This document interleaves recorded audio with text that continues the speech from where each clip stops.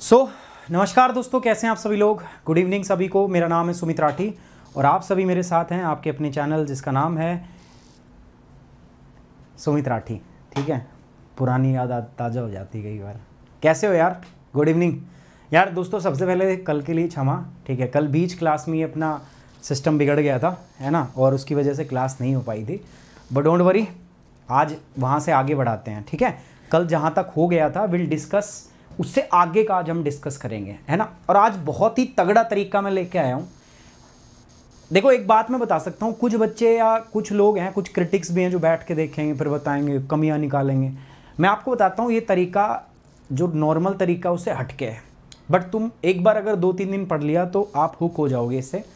और इसके बाद में ना आप इस तरीके से ही पढ़ पाओगे पॉलिटी आप भूल जाओगे पिछला तरीका जो आपने पढ़ा या नहीं पढ़ा।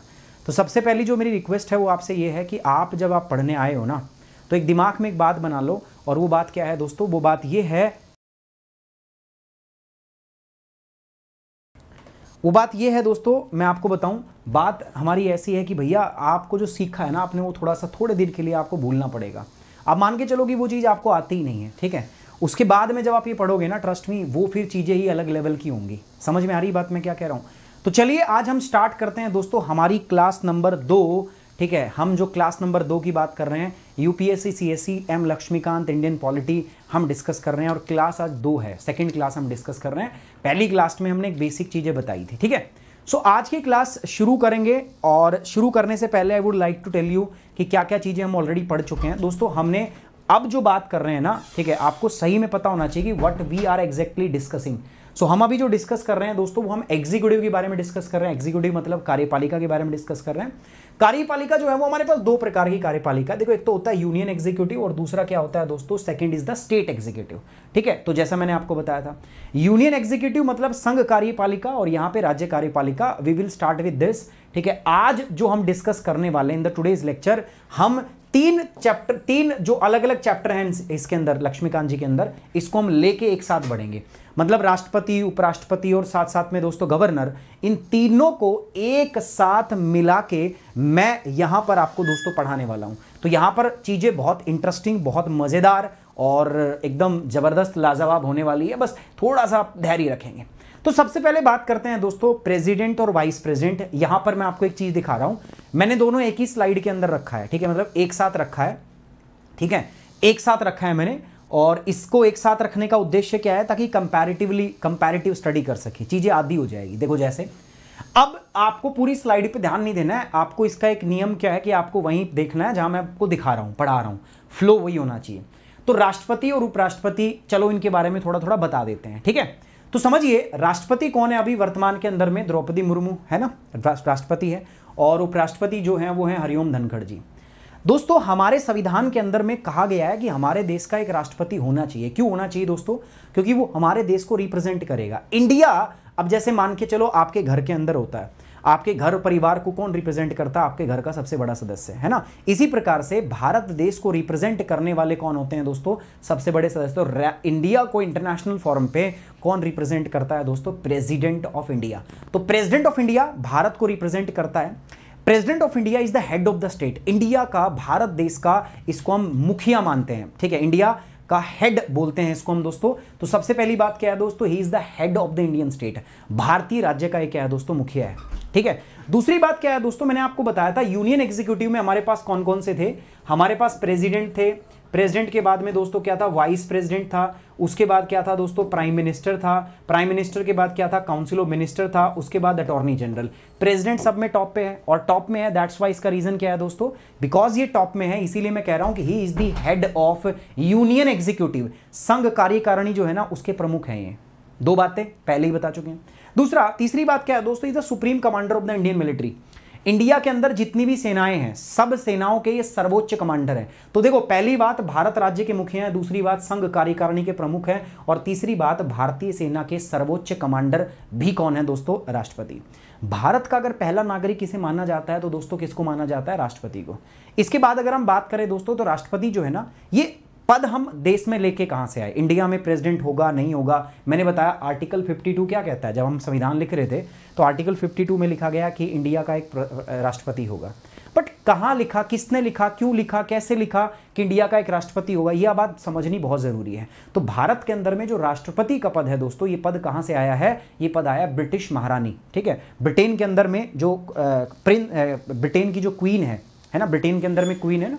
वो मोनार्की है, लेकिन इंडिया के अंदर में क्या है? इंडिया में रिपब्लिक सिस्टम है। मतलब इंडिया के अंदर में मोनार्की नहीं है कि भाई आप द्रौपदी मुर्मू हैं तो इनके बाद कल को इन्हीं के परिवार से कोई आ जाएँगी, वो नहीं है। उसको बोलते हैं मोनार्कियल सिस्टम इंडिया में रिपब्लिक सिस्टम है। मतलब हर बार वो चेंज होता है इलेक्शन होता है, भले ही उसके लिए इलेक्शन इनडायरेक्ट हो। चुनाव होता है, चुनाव भी दो प्रकार का होता है, वो हम डिस्कस करेंगे। तो कुछ बातें मैंने यहाँ पे बताई। पहली बात क्या बताई मैंने? दोस्तों, एक चीज़ ही समझनी है, दूसरी चीज़ तो खत्म हो जाएगी, ये तो आपको देखने की ज़रूरत नहीं पड़ेगी। प्रेसिडेंट जो है, राष्ट्रपति, आर्टिकल 52 आर्टिकल 52 क्या कहता है? कि भारत देश का क्या होगा? राष्ट्रपति होगा। ठीक है, सर, होगा। दूसरी बात वो कहता है, दोस्तों, कि राष्ट्रपति जो होगा ना, ये ये इंडिया का हेड होगा। इंडिया को रिप्रेजेंट करेगा। अच्छा ये एक बात और बता देता हूँ, ये नाम नाम का मुखिया होता है। जस्ट अ टिटुलर हेड इसके पास रियल में कोई पावर नहीं होती। ठीक है? इसीलिए हम राष्ट्रपति को रबड़ स्टैंप भी कहते हैं कि president will always act as rubber stamp real power किसके पास होती है दोस्तों? रियल पावर होती है हमारे पास हमारे प्राइम मिनिस्टर के पास। लेकिन लेकिन लेकिन यूपीएससी इन शब्दों के साथ खेलती है। वो आपसे बोलेगी हेड ऑफ़ द स्टेट अब ये शब्द आया है हेड ऑफ़ द स्टेट तो नाम आएगा किसका? प्रेसिडेंट का। सपोज़ वो कहती है हेड ऑफ़ द गवर्नमेंट अगर आपसे कहा जाए हेड ऑफ़ द गवर्नमेंट तो हेड ऑफ़ द गवर्नमेंट के अंदर में क्या आएगा दोस्तों बताओ? हेड ऑफ़ द गवर्नमेंट अगर आपसे कहा जाए so in head of the government आपसे क्या पूछा जाएगा? अगर आपसे कह रहा है कि हेड ऑफ़ द गवर्नमेंट बताओ then head of the government के अंदर में हम क्या रखेंगे दोस्तों? उस केस में हेड ऑफ़ द गवर्नमेंट में कौन होगा? प्राइम मिनिस्टर तो ये कंफ्यूजन है, थोड़ा सा याद रखना। तो head of the Indian state है, कौन? राष्ट्रपति। Head of the Indian government कौन होता है दोस्तों? प्राइम मिनिस्टर रियल पावर किसके पास होती है? प्राइम मिनिस्टर के पास में, ठीक है? प्राइम मिनिस्टर या council of minister which is headed by the prime minister ये नाम नाम का हेड होता है, इसलिए इसको बोलते हैं टिटुलर हेड नाम चारे का हेड इनके पास कोई मेजर पावर जो है वो नहीं होती.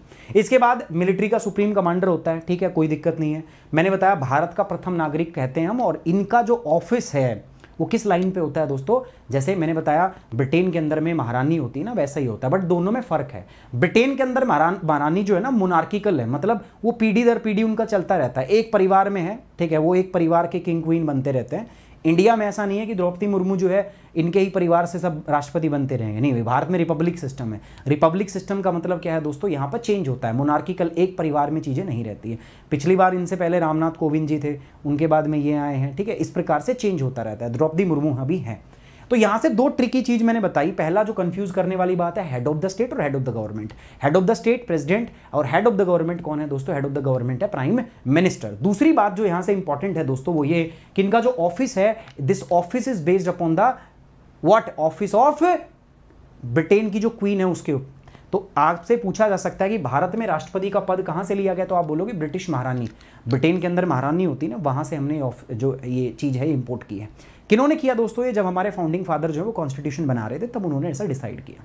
याद रखना दोस्तों प्रेसिडेंट जो है इज़ द ओनली नाम नाम का हेड अभी आपको बहुत सारी पावर में पढ़ाऊँगा तो आपको लगेगा, अरे, बहुत पावर है इनके पास तो. बट बाद में आप देखोगे तो आपको पता चलेगा ही जस्ट अ नॉमिनल हेड ये नाम नाम का हेड होता है। रियल पावर तो किसी और के पास है। रियल पावर कौन लेके बैठा है दोस्तों? प्राइम मिनिस्टर रियल पावर प्रधानमंत्री के पास होती है तो वो आपको वहाँ पर दिखेंगी। तो ये हो गया हमारा प्रेसिडेंट राष्ट्रपति। दूसरा है हमारे पास दोस्तों क्या? वाइस प्रेसिडेंट जिसको हम कहते हैं उपराष्ट्रपति।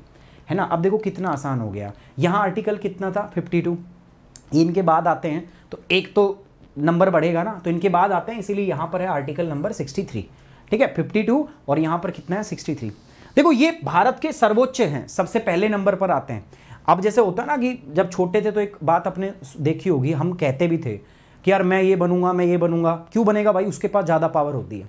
अभी भी जब आप यूपीएससी की तैयारी कर रहे हो तो एक बड़ा डिबेट होता है कि आई बनूँ या आई बनूँ? पावर किसके पास ज़्यादा होती है सर है ना? सर, एक एमएलए के पास ज़्यादा पावर होती है या डीएम के पास ज़्यादा पावर होती है?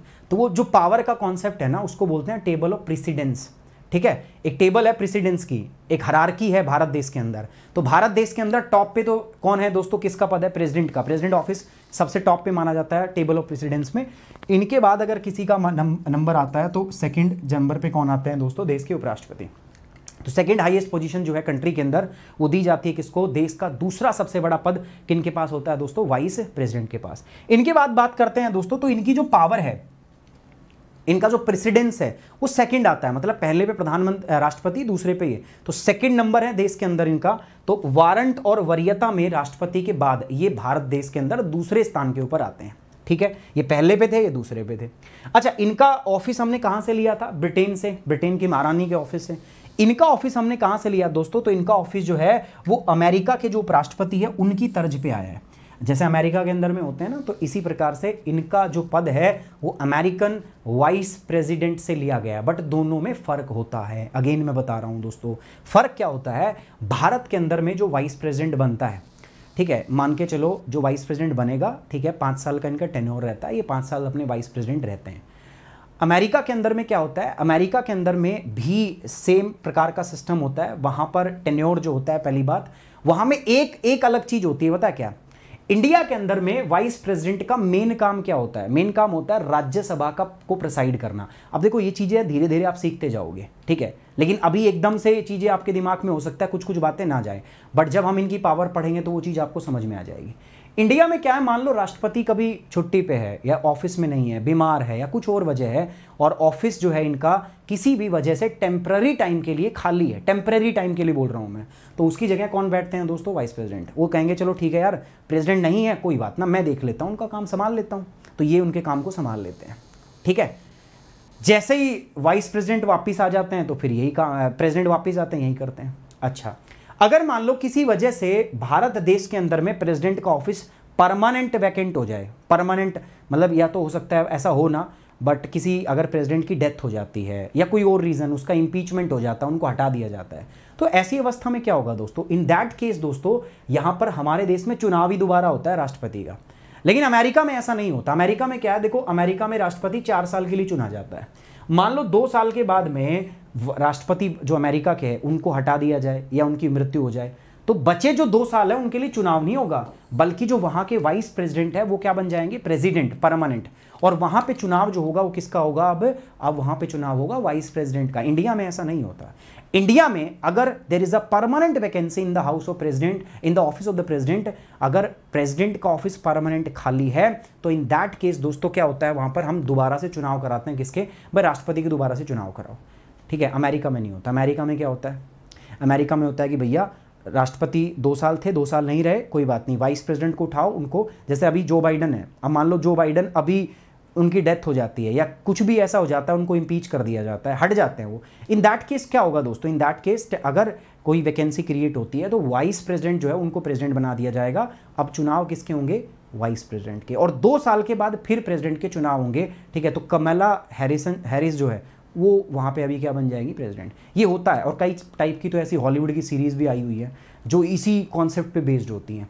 कि वाइस प्रेसिडेंट जो है, वहाँ के प्रेसिडेंट को मरवाने की चाल चलता है ताकि वो खुद क्या बन जाए, प्रेसिडेंट बन जाए।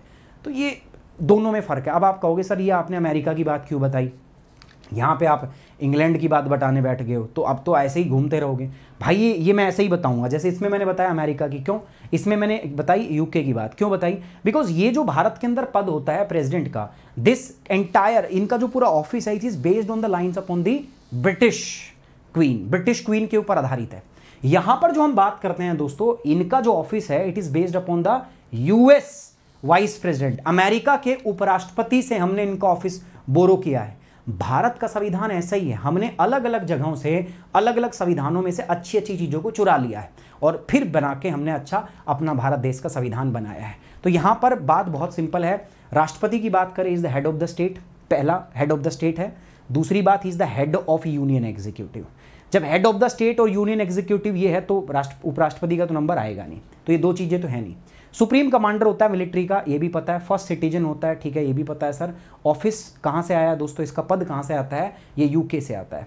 दूसरी ओर मैं वाइस प्रेसिडेंट की बात करूँ दोस्तों वाइस प्रेसिडेंट ये दूसरा सबसे बड़ा भारत के अंदर में पद होता है। वरीयता और वारंट के अंदर में उपराष्ट्रपति, राष्ट्रपति के बाद दूसरे स्थान पर होता है और इनका जो ऑफ़िस है it is modelled on the line of the vice president ठीक है, अमेरिका, अमेरिकी उपराष्ट्रपति जो है, इनके आधार पर इनका जो है वो पद लिया गया है। दो बातें मैंने यहाँ पे बताई, मैंने बताया राष्ट्रपति भले ही हम कह रहे हैं हेड ऑफ़ द स्टेट है बट एक और होता है जिसको हम बोलते हैं हेड ऑफ़ द गवर्नमेंट ठीक है? ये दिमाग में डाल लेना head of the government and who is the head of the government head of the government जो होता है दोस्तों, उनको हम कहते हैं प्राइम मिनिस्टर तो प्राइम मिनिस्टर के पास में रियल पावर होती है, इसीलिए इनको कहा जाता है इज़ रबड़ स्टैंप ऐसा क्यों?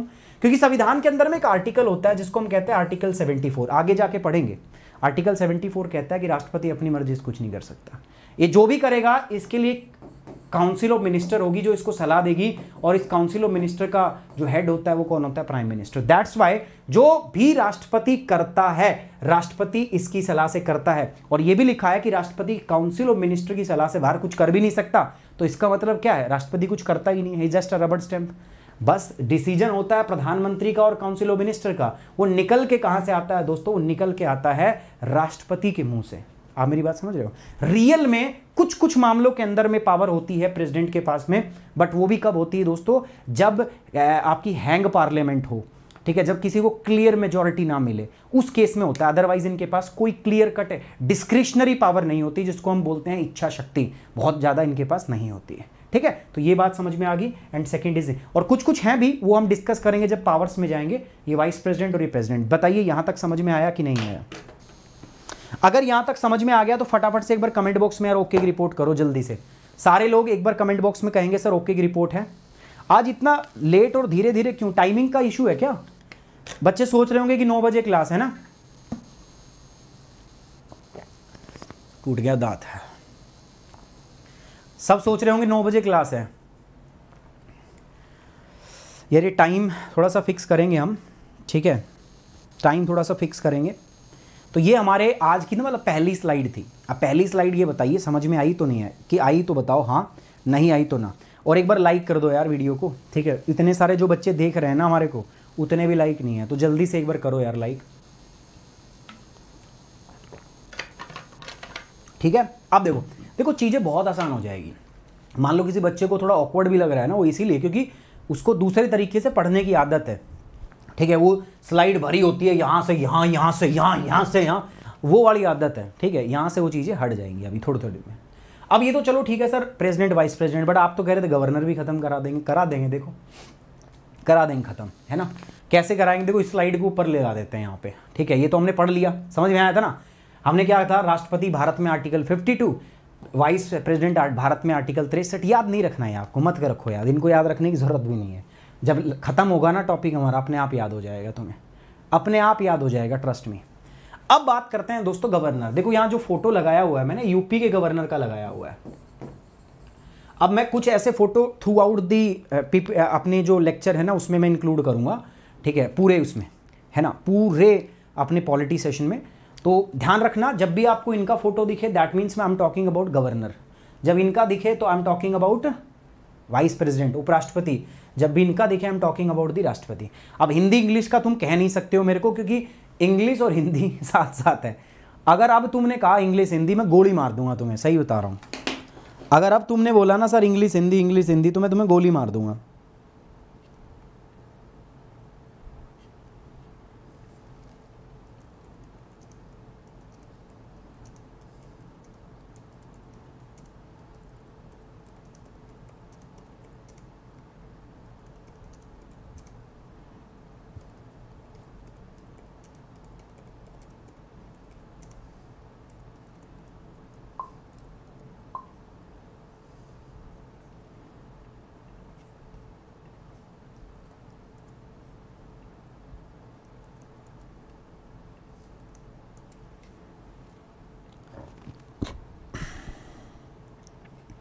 एक बार यार सारे लोग इसको शेयर भी कर दो।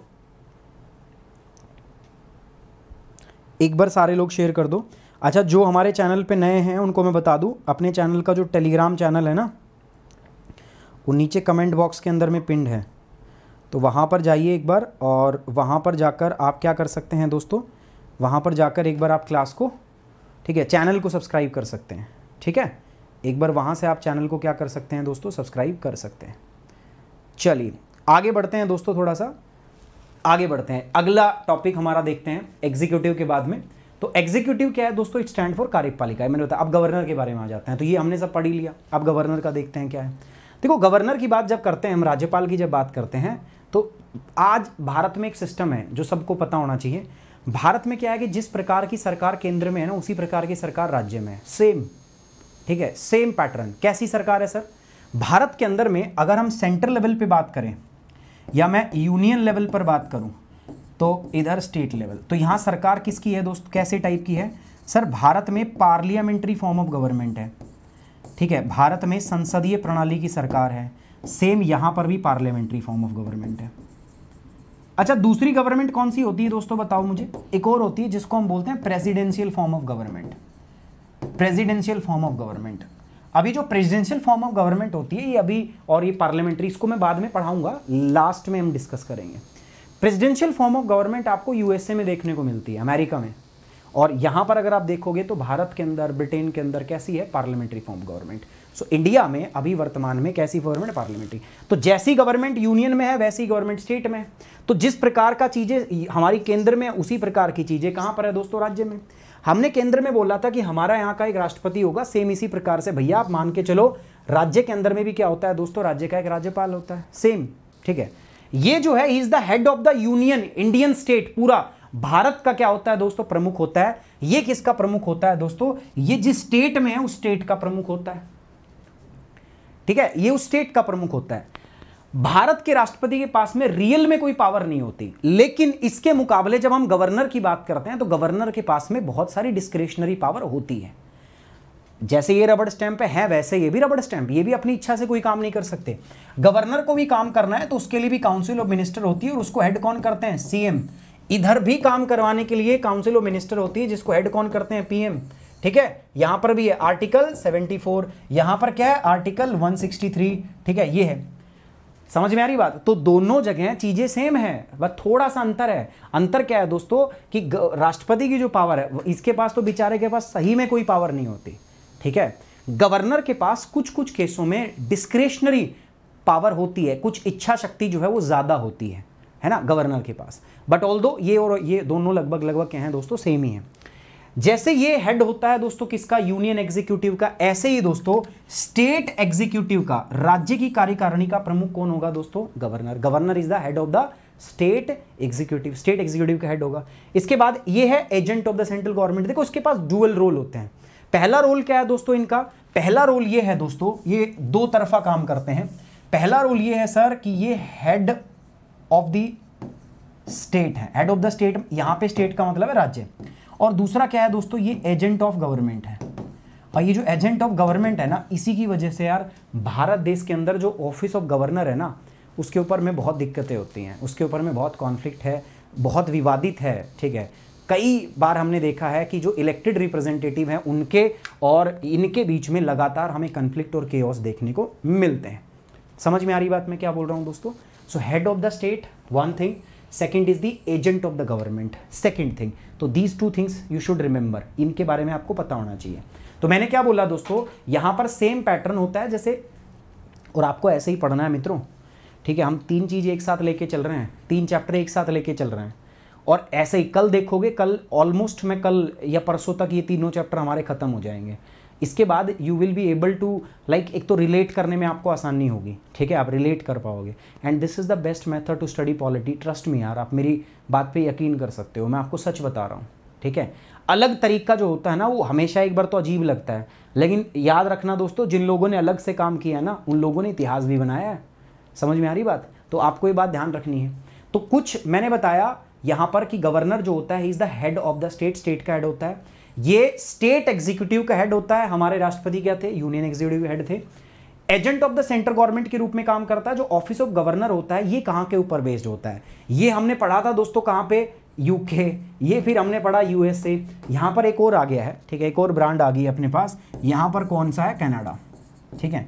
तो इनका जो ऑफ़िस है दोस्तों that is based upon the Canadian line अब कंपेयर कर पाओगे ना आप?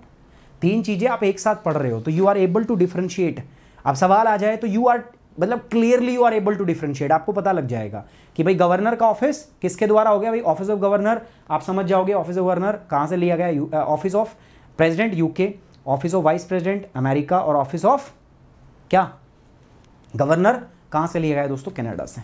भाई यहाँ तक बात क्लियर है या नहीं है? आप बताइए दोस्तों। यहाँ तक आपको क्लियर है या नहीं है? जल्दी बताइएगा। Is this thing is okay to you और नॉट बताइए जल्दी से। ये चीज़ आपको क्लियर है या नहीं है?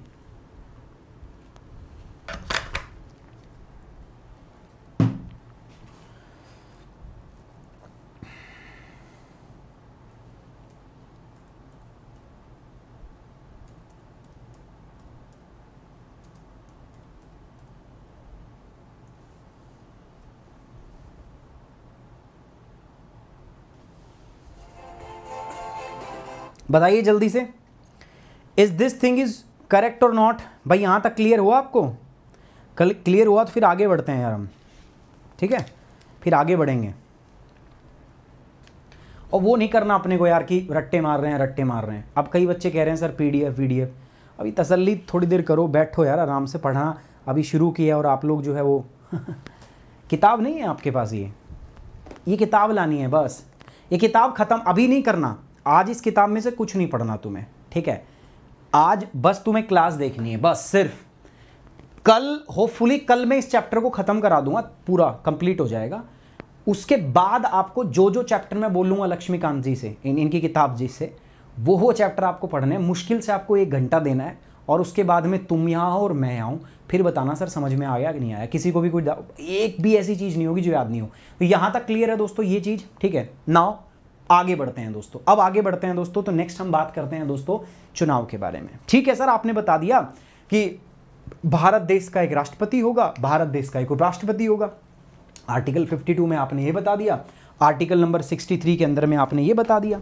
चलिए, दोनों बातें बिल्कुल सही हैं, आपने बता दिया। ठीक है, अब आप इसका एक और ध्यान रख लेना, यहाँ पे मैं लिखना भूल गया article 153 talk about the governor ये गवर्नर के बारे में बताता है, संविधान में गवर्नर के बारे में आर्टिकल है आपका 153 तो देखो, सिमिलैरिटी नहीं है यार, एक सा नहीं लग रहा आपको, ये 52 है, ठीक है, ये 63 है, ये 53 है, ठीक है? तो यहाँ पर क्या होगा, मैं ये नहीं कह रहा कि कोई ट्रिक बन रही है याद करने की, बट ये इतना सिमिलर सिमिलर लगेगा ना आपको कि अगर आप दो बार देखोगे ना तो आपको चीज़ें याद हो जाएगी। और मैं आपको बता रहा हूँ, ये आप बार बार देखोगे ऐसी चीज़ें। अब आते हैं दोस्तों किसके ऊपर? चुनाव के ऊपर, ठीक है? अब बात करते हैं चुनाव। सर, आर्टिकल 52 कहता है कि भारत देश का एक राष्ट्रपति होगा, बट कहाँ से आएगा राष्ट्रपति? पेड़ पे लगेगा। ठीक है, लॉटरी में निकलेगा। कैसे आएगा राष्ट्रपति? कोई पेपर होता है राष्ट्रपति का, जैसे यूपीएससी में सिविल सर्विस के आप एग्ज़ाम देते हो। तो आएगा कहाँ से राष्ट्रपति? देखो, किसी भी चीज़ को लाने के तरीके होते हैं। जैसे पहला तरीका क्या होता है दोस्तों? जैसे हम आप आप जब पेपर दोगे, जब पेपर दे के आप जाते हो तो वो एक प्रोसेस होती है, उसको हम बोलते हैं रिक्रूटमेंट ठीक है? क्या होता है? रिक्रूटमेंट कि आपका क्या हुआ है दोस्तों? चयन हुआ है। आपने पेपर दिया है और उस पेपर को आपने क्वालिफाई करके तब आपका चयन हुआ है। दूसरा एक तरीका होता है जिसको बोलते हैं नॉमिनेशन नॉमिनेशन का मतलब क्या है? निर्वाचन. नॉमिनेशन का मतलब कहता है मनोनीत होना, मनोनीत करना। जैसे मैं आपको बताऊँ, सचिन तेंदुलकर थे, क्रिकेट खेलते थे। उनको राज्यसभा का सदस्य बना दिया गया था। तो वो क्या था? मनोनीत करना। वहाँ पे चुनाव नहीं होता। और तीसरा जो तरीका होता है ना, प्यारे बच्चों, वो होता है इलेक्शन तो भारत देश के अंदर में अगर मैं कहता हूँ कि कोई होगा तो उसके होने के तीन तरीके हो सकते हैं। पहला तरीका क्या हो सकता है? हो सकता है वो पेपर दे के आया हो। उसने कोई पेपर दिया हो। अब जैसे हम यूपीएससी का पेपर देते हैं तो क्या राष्ट्रपति का भी पेपर होता है? फार्म देखा है राष्ट्रपति का तुमने? फार्म निकलता है राष्ट्रपति का? अच्छा एक बार सोच के देखो, अगर राष्ट्रपति का फार्म निकलता हो तो। राष्ट्रपति का फॉर्म निकलता हो कि चलो भाई, राष्ट्रपति की वैकेंसी आ गई, फॉर्म भर दो। यूपीएससी के अंदर में फॉर्म भरे जाते हैं बारह लाख। ठीक है? राष्ट्रपति में कितने फॉर्म भरे जाएँगे? सोच के देखो यार। हर आदमी कहेगा, अरे, मैं बनना चाहता हूँ राष्ट्रपति। ठीक है, आराम की काम है, कुछ करना ही नहीं है, राष्ट्रपति को बैठा रहना, राष्ट्रपति भवन में बताते रहना है। एक तो गार्डन बना रखा है, बढ़िया, मुगल गार्डन में घूमते रहो घूमते रहो, फ़ोटो खिंचवाओ बढ़िया से। और ये बताते रहो, बढ़िया, एकदम आलीशान राष्ट्रपति भवन होता है, बताते रहो कि क्या सब्ज़ी बनेगी आज आज क्या खाऊँगा, आज ये डिनर लूँगा, है ना? अलग अलग लोगों से मिलो और जैसा राष्ट्र, प्रधानमंत्री कह रहा है, चुपचाप वैसे करते जाओ, ठीक है? जैसा प्रधानमंत्री बोल रहा है, चुपचाप करते रहो। ज़्यादा तीन पाँच करो मत। यही काम है, और क्या काम लगता है आपको भारत देश के अंदर राष्ट्रपति का? तो राष्ट्रपति का पद जो है भारत के अंदर में, मैं कोई, इनका अपमान नहीं कर रहा हूँ, ठीक है? हम जस्ट सिर्फ़ पढ़ने के लिए थोड़ा सा टॉपिक को अच्छा बना रहे हैं, और बस उसी लिए मज़ाक मस्ती में ताकि काम अच्छे से हो, ठीक है? बस वो मैं कर रहा हूँ। तो अगर राष्ट्रपति का फॉर्म निकले, सोचो कितने लोग भरें, सारे भरें भाई, ठीक है? मुझे लगता है भारत देश के अंदर में कम से कम कम से कम मैं बता रहा हूँ, पचास लाख आवेदन भरे जाएँ। ठीक है? अगर सौ रुपये भी आवेदन की फ़ीस दे दी जाए तो सोचो कितना पैसा आ जाए, है ना? कितना टफ कंपटीशन हो, उसकी तैयारी कराई जाए। नहीं? है ना? तो क्या राष्ट्रपति का पेपर होता है? नहीं होता भाई। रिक्रूटमेंट नहीं होता। नॉमिनेट क्या राष्ट्रपति को नॉमिनेट किया जाता है? राष्ट्रपति भारत, देखो लॉजिक लगाना थोड़ा। इंडिया में राष्ट्रपति सबसे हाईएस्ट पद होता है। नॉमिनेशन मतलब मनोनीत करना। मैं अगर किसी को मनोनीत करूँगा तो मैं अपने से छोटे लेवल के, छोटे पद के लोगों को कर सकता हूँ। मान के चलो मुझे किसी को मनोनीत करना है तो मैं अपने से छोटे लोगों को मनोनीत करूँगा। ठीक है? अब राष्ट्रपति से छोटा या राष्ट्रपति से बड़ा कोई है ही नहीं। नाम में, टेबल में, नाम का तो भारत में राष्ट्रपति से बड़ा कोई नहीं है।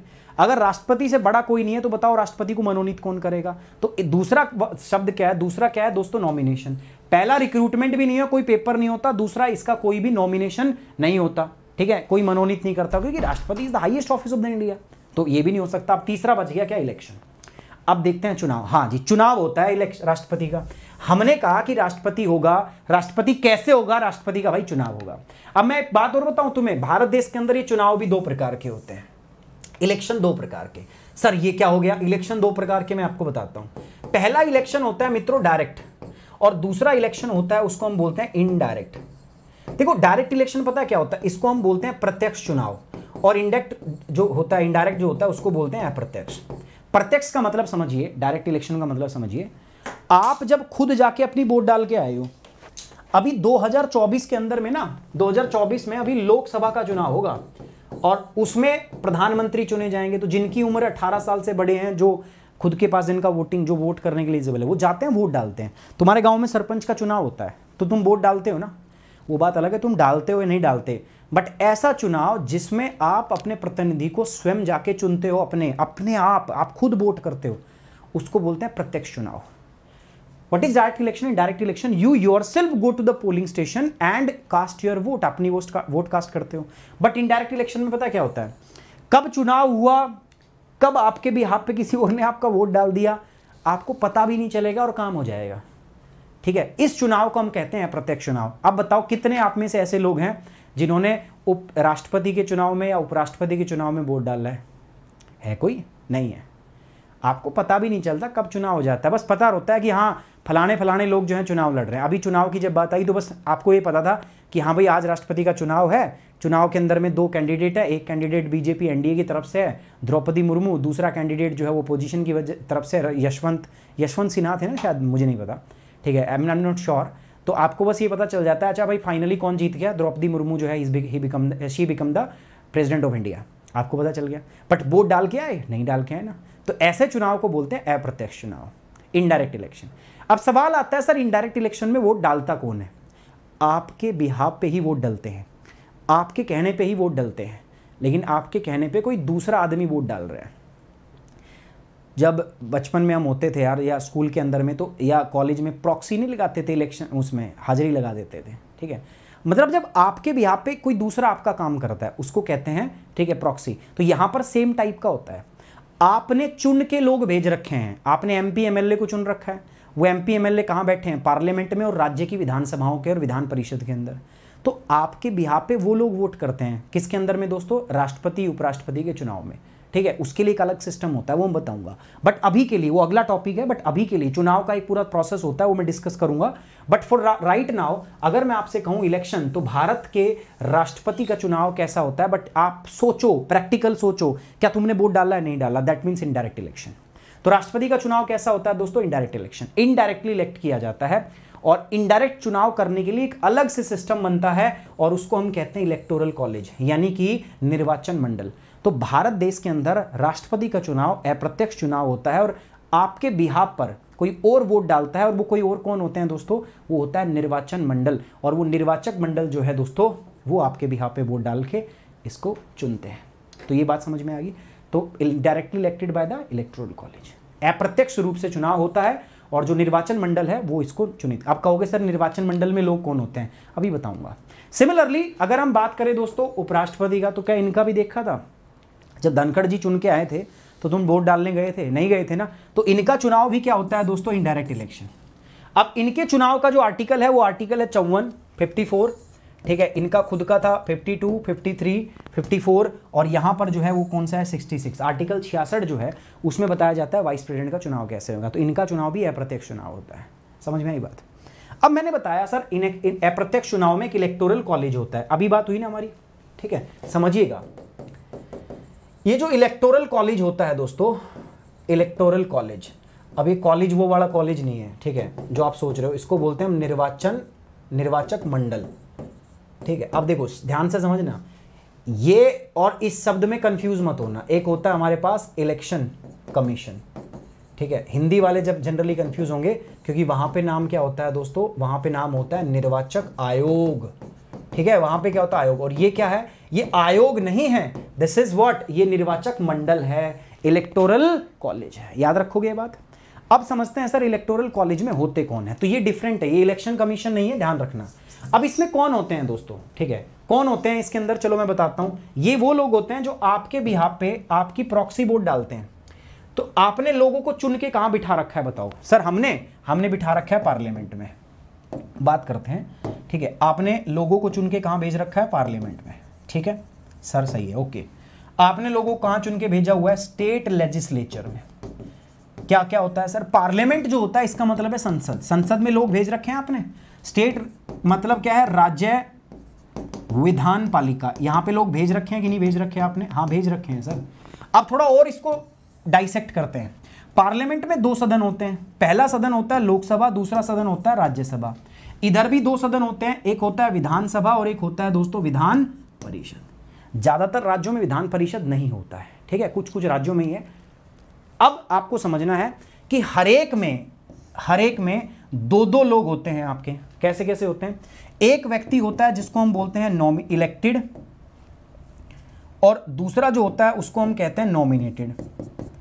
एक होता है इलेक्टेड और दूसरा होता है दोस्तों नॉमिनेटेड सिमिलरली इसमें भी यही होगा। एक तो होगा इलेक्टेड और दूसरा क्या होगा? नॉमिनेटेड अभी कितने कितने कौन कौन होते हैं, वो बाद में पढ़ाऊँगा जब जुडिशरी करेंगे।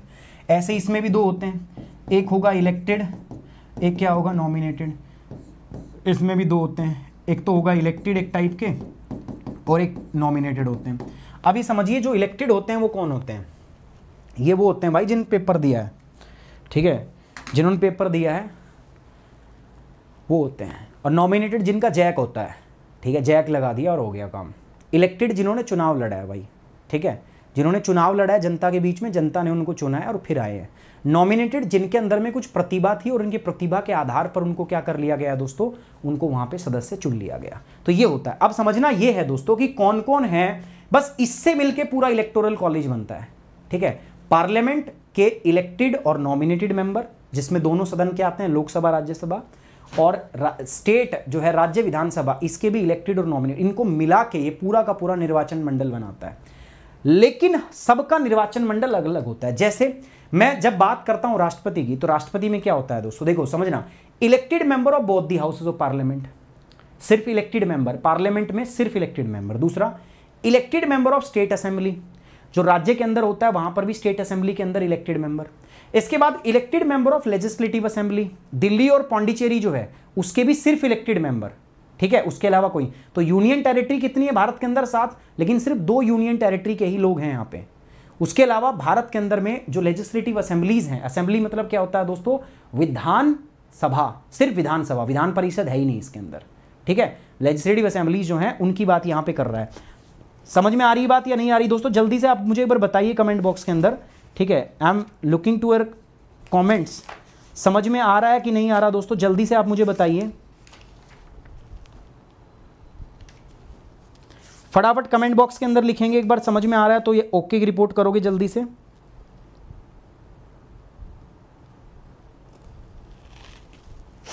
ठीक है?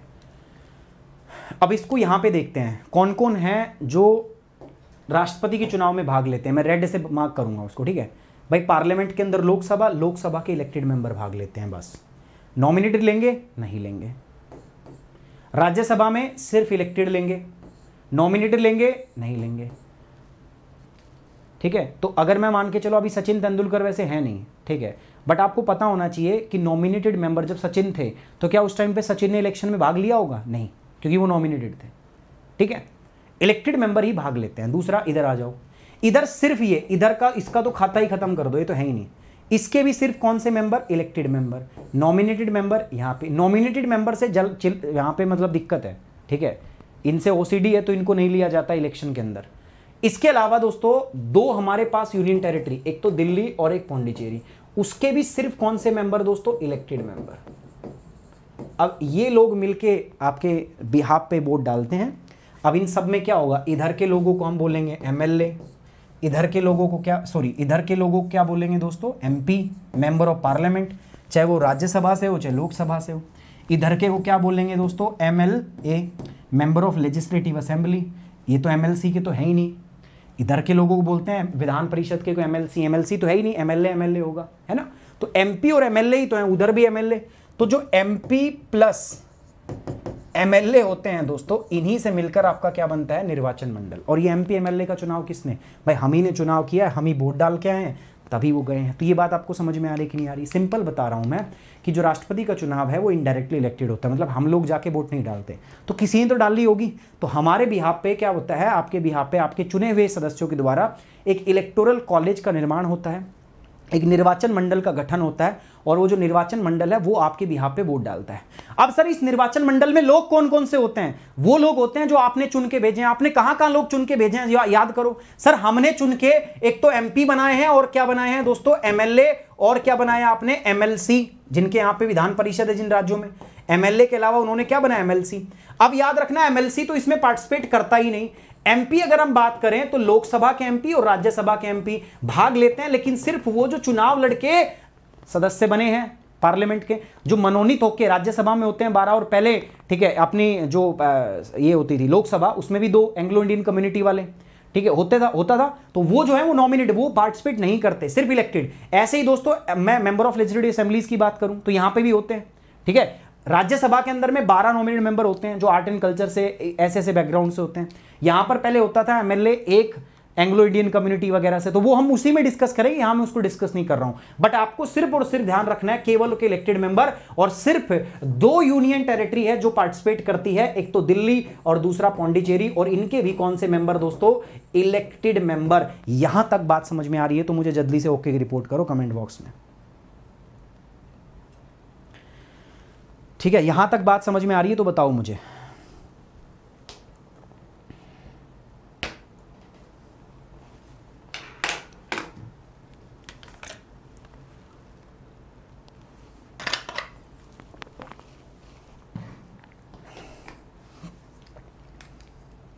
ठीक है?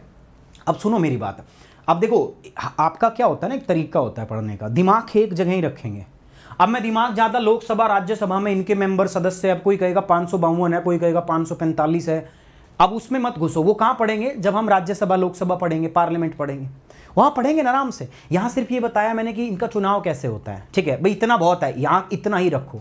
अगर एक टाइम पे हर जगह पैर फंसाएँगे तो गड़बड़ हो जाएगी। ठीक है? तो इतना रख के आगे बढ़ते हैं। ठीक है? अब यहाँ से मैंने पढ़ भी लेना है एक बार, ठीक है? एक बार मैं पढ़ा देता हूँ आपको, ताकि आपको संतुष्टि मिले कि इंग्लिश, हिंदी दोनों है। चुनाव, राष्ट्रपति जी का चुनाव है। Indirectly elected by electoral college अप्रत्यक्ष रूप से निर्वाचन मंडल द्वारा निर्वाचित होते हैं। Elected member of both the house of parliament संसद के दोनों सदनों के निर्वाचित सदस्य इसके अंदर होते हैं। निर्वाचित, हिंदी में बोलते हैं।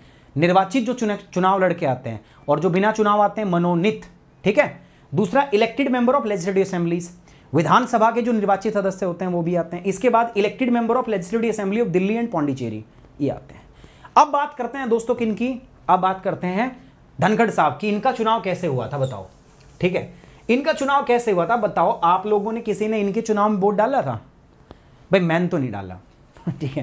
क्योंकि मेरे से किसी ने पूछी नहीं तो मैं वोट तो मैं दे देता यार, वोट डाल गया था। ठीक है? मेरे से नहीं पूछी, क्यों नहीं पूछी? क्योंकि मैं एम पी नहीं था भाई। अगर मैं एम पी होता तो भाई मेरी वोट डलती, है ना? क्योंकि एमपी और एमएलए अपनी कॉन्स्टिट्युएंसी को, अपने निर्वाचन क्षेत्र को रिप्रेजेंट करते हैं। तो माना क्या जाता है कि भाई, इन सारे लोगों ने इसको ही तो चुना है। तो अगर ये अपनी राय देगा तो इसका मतलब सारे लोग वही बात बोल रहे हैं। है ना? ऐसा माना जाता है। इनहेरेंटली ऐसा माना जाता है। और भारत के अंदर में चाहे वो राष्ट्रपति का पद हो, चाहे उपराष्ट्रपति का पद हो, ये पद इतने महत्वपूर्ण नहीं होते हैं। इनके पास कुछ रियल पावर नहीं होती है एंड दैट्स वाई इनके इलेक्शन के ऊपर में ज़्यादा झोल झाल नहीं लिए मतलब ज़्यादा झमेला नहीं पालते प्रधानमंत्री के पास रियल पावर होती है। देखना कितना गाजे बाजे दो हज़ार चौबीस का इलेक्शन ठीक है धूम धड़ाल ठीक है, तीन महीने, दो महीने कति देश रुक जाएगा। चुनाव के अलावा और कुछ चीज़ें दिखेंगी ही नहीं आपको। वाइस प्रेसिडेंट की बात करते हैं, दोस्तों, उपराष्ट्रपति की बात करते हैं तो सबसे पहली बात तो आपको ध्यान रखना है आर्टिकल नंबर छियासठ। आर्टिकल छियासठ जो है, takes talks about the election of vice president. तो फ़र्स्ट थिंग फ़र्स्ट, यहाँ पर इनडायरेक्टली इलेक्शन होता है। मतलब प्रत्यक्ष चुनाव नहीं होता। जो वाइस प्रेसिडेंट है, इनके में भी आपने वोट नहीं डाला होगा, ठीक है? ये भी अप्रत्यक्ष रूप से निर्वाचित होते हैं और इनको जो निर्वाचन जो होता है, वो भी निर्वाचन मंडल के माध्यम से होता है। अब मैं बार बार बोल रहा हूँ दोस्तों, दो चीज़ों में डिफरेंस समझना। एक होता है निर्वाचक मंडल और एक होता है क्या दोस्तों हमारे पास? निर्वाचक आयोग। दोनों अलग अलग चीज़ है इलेक्शन कमीशन ये जो है, इसको बोलते हैं इलेक्टोरल कॉलेज हिंदी वाले कंफ्यूज होंगे। निर्वाचक मंडल जो है, ये अलग है और निर्वाचक आयोग जो है, वो अलग है। निर्वाचक आयोग देश में चुनाव कराता है। निर्वाचक मंडल वो लोग हैं जो भारत के अंदर राष्ट्रपति, उपराष्ट्रपति के चुनाव के अंदर में वोट डालते हैं। अब यहाँ पर भी क्या है दोस्तों, निर्वाचक मंडल?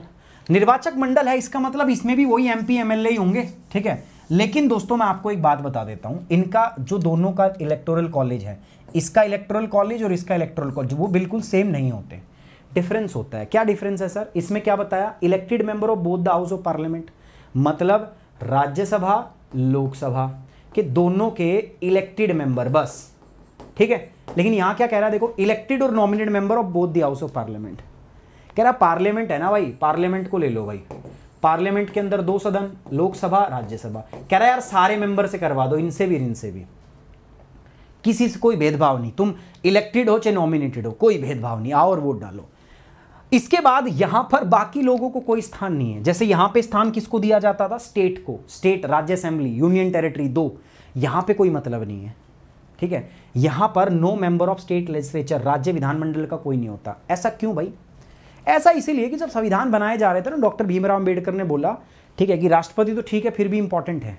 राष्ट्रपति स्टेट जो है, राज्य जो है उसका स्टेक रहेगा राष्ट्रपति के चुनाव में, क्योंकि उनका एक इंटरेस्ट होता है।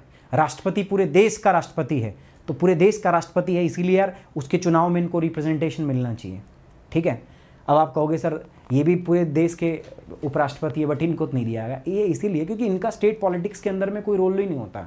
अब बताओ ना यार वाइस प्रेसिडेंट कहाँ कहाँ जाके स्टेट पॉलिटिक्स में टांग अड़ाएँगे? अब किसी राज्य के अंदर मान लो गवर्नर ठीक है, तीन पाँच करता है तो उसकी कंप्लेंट किसको की जाती है? प्रेसिडेंट को कि देख लो, समझा लो इसको। अभी किसने किया था? तमिलनाडु के अंदर में। एम के स्टालिन ने कहा था कि यहाँ के जो गवर्नर है रवि साहब जो हैं, ठीक है रवि नाम था उनका, पता नहीं कि कौन सा रवि रवि थे? रवि नाम है ना शायद? रवि कुछ था, आगे लास्ट नेम रवि है। तो उनको कहा था। भारत के प्रधानमंत्री को राष्ट्रपति को चिट्ठी लिखी थी। कि ये ढंग से काम नहीं कर रहे हैं, इनको बोलिए आप, ये होंगे तो ये हमारे कॉन्स्टिट्यूशन हमारे डेमोक्रेसी के लिए खतरा है। तो ऐसा वाइस प्रेसिडेंट का कहीं रोल नहीं है। इसीलिए कह रहा है कि जब वाइस प्रेसिडेंट का रोल ही नहीं है स्टेट पॉलिटिक्स में तो क्यों स्टेट वालों को इसमें तकलीफ़ देनी? तो यहाँ पे याद रखना, सिर्फ़ और सिर्फ़ कौन चुनाव में भाग लेते हैं? एमपी एमपी का मतलब क्या होता है? दोस्तों, देखो, कई बच्चे इसमें भी कंफ्यूज होते हैं। एमपी का मतलब है यहाँ पर मेंबर ऑफ़ पार्लियामेंट हिंदी में क्या बोलेंगे दोस्तों? हिंदी में इसका मतलब हुआ संसद के सदस्य। और अगर संसद के सदस्य हैं तो संसद में दो सदन है। पहला है लोकसभा, दूसरा है राज्यसभा तो दोनों ही लोग एमपी होंगे। ठीक है? अब चाहे वो इलेक्टेड हो नॉमिनेट क्योंकि आप मेंबर जब आप मेंबर हो, कोई भी मेंबर हो तो आप एमपी हो। तो यहाँ पर इसके, इनके चुनाव में सिर्फ़ और सिर्फ़ एमपी पार्टिसिपेट करते हैं no MLA no MLC but यहाँ पर अगर हम बात करें एमपी और एमएलए पार्टिसिपेट करते हैं but only elected MP and MLA will participate in the election हो समझ में आया तो बताइए यार, बहुत ठीक है। मतलब मैंने बहुत दिल से पीपीटी बनाई है भाई साहब। साढ़े चार घंटे लगे हैं कल भी इस पीपीटी को बनाने में और आज इसको अपडेट किया है। हिंदी इंग्लिश में के कलर अलग ये वो ये वो। ठीक है अगर आपको समझ में आ रहा है ना ठीक है अगर आपको अच्छा लग रहा है तो मेरा जीवन धन्य हो जाएगा मैं सही बता रहा हूँ। ठीक है आपके कमेंट्स देख के ना मतलब मज़ा आ जाएगा ठीक है? मज़ा आ जाएगा। एक बार लाइक भी कर दो वीडियो को। भाई डेली रहेगी ठीक है? डेली का मतलब मंडे टू फ्राइडे डेली चलेगी ठीक है? बिल्कुल रहेगी। लेकिन मान लो किसी दिन बीच के अंदर कुछ जैसे कल यार इंटरनेट ख़राब हो गया तो, तो मैं क्या कर लूँ है ना? तो ऐसी अवस्था के अंदर में वो चीज़ें नहीं हो पाएँगी। तो उसका बस थोड़ा सा आपको कॉपरेटिव रहना है वहाँ पे। शुरू किया है ख़त्म करेंगे। तीस दिन का मैंने टारगेट बना के रखा है। तीस दिन के अंदर में मैं इसको ख़त्म कराऊँगा। थर्टी डे चैलेंज है। आज तीसरा दिन है हमारा इस चैलेंज का। ठीक है ना? चलिए, आगे बढ़ते हैं। ठीक है ठीक है, आगे बढ़ते हैं दोस्तों। अच्छा गाइज़ प्लीज़ एक बार लाइक और शेयर कर लेना। वीडियो को लाइक कर लेना। एंड अगर आप चैनल पे नए हैं तो चैनल को सब्सक्राइब कर लीजिएगा। अच्छा देखिएगा कमेंट बॉक्स में आप, मैं आपको कुछ टेलीग्राम का लिंक दे रहा हूँ। जो नए बच्चे हैं, वो इससे जुड़ जाइए। जैसे कभी क्लास वगैरह का टाइम टेबल चेंज होता है तो पता चल जाएगा। तो ये हमारा ख़त्म हो गया, ठीक है? अब मैं एक चीज़ यहाँ पे आपसे पूछना भी चाहूँगा, आपसे बताना भी चाहूँगा। जैसे अभी हमने कहा एमपी के बारे में। भाई पार्लियामेंट है हमारे पास, ठीक है? तो पार्लियामेंट में दो सदन होते हैं, एक तो लोकसभा और एक क्या होता है दोस्तों, राज्यसभा। अब इनमें भी दो प्रकार के मेंबर होते हैं। एक तो होते हैं इलेक्टेड इलेक्टेड मतलब निर्वाचित, और दूसरे होते हैं नॉमिनेटेड नॉमिनेटेड मतलब क्या होता है दोस्तों? मनोनीत। और ये क्या होते हैं दोस्तों? आपके निर्वाचित। अब आप समझिएगा मेरी बात, ठीक है? अब मेरी बात समझिए। इसमें भी ऐसा ही होता है, ठीक है? एक इलेक्टेड हो गया, एक नॉमिनेटेड हो गया। ठीक है? ऐसा ही होता है ना? तो अब बताइए एमपी किसको बोलेंगे कई बार बच्चा इसी में कंफ्यूज होता है। एमपी किस किस को बोलेंगे मेंबर ऑफ़ पार्लियामेंट क्या इसको एमपी बोलोगे? भाई, इनको क्या एमपी बोलोगे? हाँ बोलेंगे इनको बोलोगे? हाँ बोलेंगे इनको बोलोगे? हाँ बोलेंगे इनको बोलोगे? बोलेंगे एमपी मतलब पार्लियामेंट का सदस्य है। तो बताओ मुझे पार्लियामेंट का तो एक भाग और भी होता है राष्ट्रपति। तो क्या राष्ट्रपति को भी तुम एमपी बोलोगे? बताइए। क्या राष्ट्रपति को भी तुम एमपी बोलोगे? क्या राष्ट्रपति को भी आप एमपी बोलेंगे क्या? बताइए फटाफट से।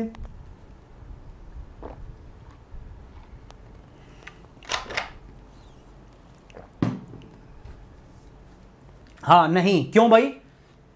मैं आपको बताता हूँ। यहाँ पे दो बातें हैं। दो बातें हैं। जब आप एमपी बोलते हो ना एमपी एमपी में लिखते हैं हम मेंबर ऑफ़ पार्लियामेंट ठीक है, पूरा लिख लेंगे। बट राष्ट्रपति क्या है? राष्ट्रपति जो है मेंबर नहीं है। राष्ट्रपति is the part of parliament ठीक है, ये बात ध्यान रखना। राष्ट्रपति संसद का भाग है। संसद का भाग है। अब संसद का भाग होना बहुत बड़ी बात है। ठीक है? लोकसभा को थोड़ी ना तुम एमपी कह दोगे कि लोकसभा एमपी है। लोकसभा तो भाग है। किसका? पार्लियामेंट का। तो ऐसे ही प्रेसिडेंट जो है, वो भाग है किसका दोस्तों? भारतीय पार्लियामेंट का, संसद का। तो इसलिए इनको एमपी नहीं कहेंगे, ये बात ध्यान रखना। कई बच्चा इसमें भी कन्फ्यूज़ रहता है। इसीलिए गवर्नर को भी क्या एमएलए बोल लेंगे? एमएलए एमएलसी नहीं भाई कुछ भी नहीं बोल लेंगे। वो भी एक भाग है किसका दोस्तों? राज्य विधानमंडल का। अब आगे बढ़ते हैं दोस्तों तो यहाँ तक मेरे हिसाब से क्लियर है। अब इसको थोड़ा सा साइड में करते हैं और इसकी जगह गवर्नर को लेके आते हैं, ठीक है? ये हमने पढ़ लिया सर कि इसका भी इनडायरेक्ट इलेक्शन इसका भी इनडायरेक्ट इलेक्शन इसका भी निर्वाचन मंडल, इसका भी निर्वाचन मंडल। बट इनके निर्वाचन मंडल में कौन होते हैं? एमएलए और एमएलए होते हैं और एमपी होते हैं। सिर्फ़ इलेक्टेड वाले। इसमें सिर्फ़ और सिर्फ़ एमपी होते हैं। लोकसभा, राज्यसभा के सारे के सारे मेंबर होते हैं। बाकी स्टेट का एमएलए और एमएलसी का इसमें कोई रोल नहीं होता। अब बात करते हैं दोस्तों गवर्नर की। तो गवर्नर का जो चुनाव तो खैर होता नहीं है। ठीक है? ना गवर्नर का कोई एग्ज़ाम होता, ना गवर्नर का कोई चुनाव होता। गवर्नर का एग्ज़ाम होता तो भी बहुत सारे लोग फार्म भरते हैं। क्योंकि गवर्नर का भी वही है। एक बढ़िया राजभवन मिलता है रहने को। उसके बाद में एक अच्छी खासी तगड़ी सैलरी है। गवर्नर की भी बहुत तगड़ी सैलरी है। और इनका भी कोई काम नहीं है। वही बताना है कि क्या सब्ज़ी बनेगी आज। ठीक है ठीक है। वही काम होता है। और इनका काम होता है स्टेट सेंटर के आधार सेंटर के कहने पे स्टेट के मामले में पैर देना। ठीक है? अच्छा ये काम है, ये बिल आ गया, चल पास नहीं होने देना है। ऊपर से फ़ोन आ गया कि टांग अड़ा दो। ये काम है किसका दोस्तों? गवर्नर का। मुख्य रूप से जो हम डेली न्यूज़पेपर के अंदर में देखते हैं और पढ़ते हैं, उनसे तो यही समझ में आता है हमें। तो गवर्नर जो है दोस्तों, गवर्नर भारत के अंदर में गवर्नर होता है और गवर्नर का मैंने तीन तरीके बताए थे किसी भी व्यक्ति के आने के। पहला रिक्रूटमेंट चुना पेपर पेपर भी नहीं होता। दूसरा इलेक्शन इसमें इलेक्शन भी नहीं होता भाई। तो बचा क्या नॉमिनेशन नॉमिनेशन मतलब इनको कोई मनोनीत करता है अपॉइंट करता है अपॉइंटमेंट तो क्या इनका अपॉइंटमेंट होता है? तीसरा नॉमिनेशन नहीं अपॉइंटमेंट होता है। तीन चीज़ें हैं। ठीक है? फ़र्स्ट मैंने बताया रिक्रूटमेंट दूसरा मैंने बताया अपॉइंटमेंट और तीसरा क्या बताया दोस्तों? इलेक्शन तो इलेक्शन ठीक है, इनका होता है इलेक्शन डायरेक्ट नहीं था तो इनडायरेक्ट था बट यहाँ पर इनका देखोगे तो क्या है अपॉइंटमेंट अपॉइंटमेंट मतलब क्या? अपॉइंटमेंट मतलब क्या? इनको निर्वाचित कर दिया जाता है सॉरी इनको क्या बोलते हैं, हिंदी को अपॉइंटमेंट को यार? ठीक है अपॉइंटमेंट को क्या बोलते हैं यार? नियुक्त करना। ठीक है, नियुक्त करना।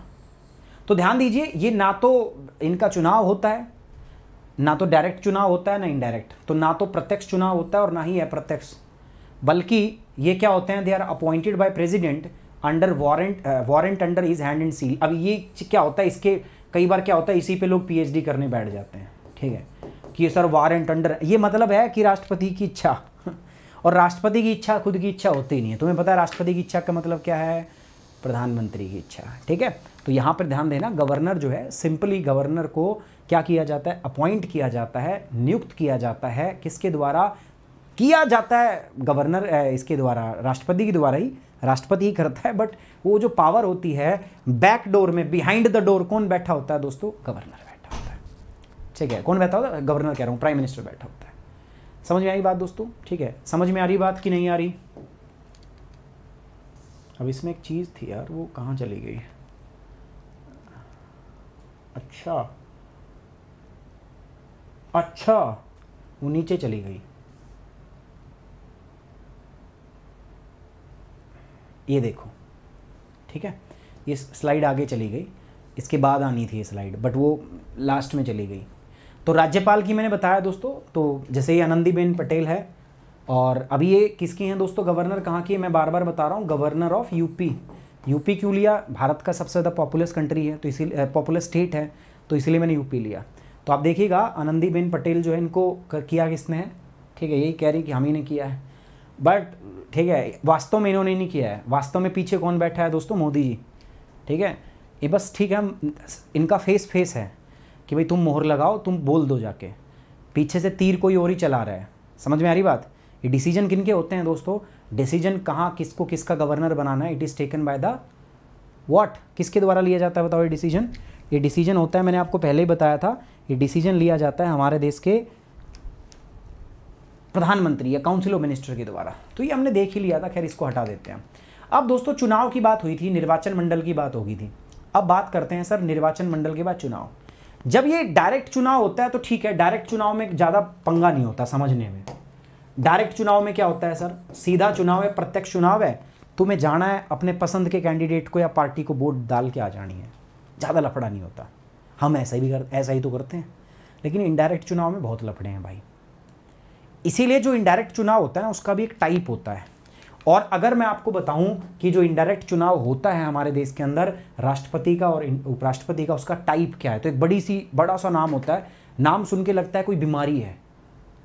Proportional representation by means of single transferable voting system by the secret ballot ठीक है? अभी नाम सा लगता है ना, हिंदी में बोलते हैं, एकल समानुपाती संक्रमणीय मतदान विधि।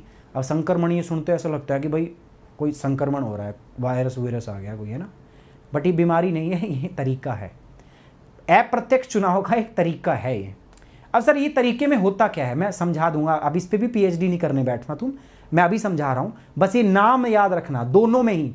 चाहे वो प्रेसिडेंट हो आर्टिकल 54 मैंने बताया था इलेक्शन ऑफ़ प्रेसिडेंट तो आर्टिकल 54 का जो तरीका है दोस्तों मैनर ऑफ़ इलेक्शन वो क्या है दोस्तों? Proportional representation by means of single transfer voting system एकल समान सम, संक्रमणीय मत के माध्यम से अनुपातिक प्रतिनिधित्व और गुप्त मतदान द्वारा मतदान होता है। सेम यहाँ पर भी ऐसा ही है। आर्टिकल सिक्सटी सेम चीज़ होती है वाइस प्रेसिडेंट के केस में उपराष्ट्रपति केस में।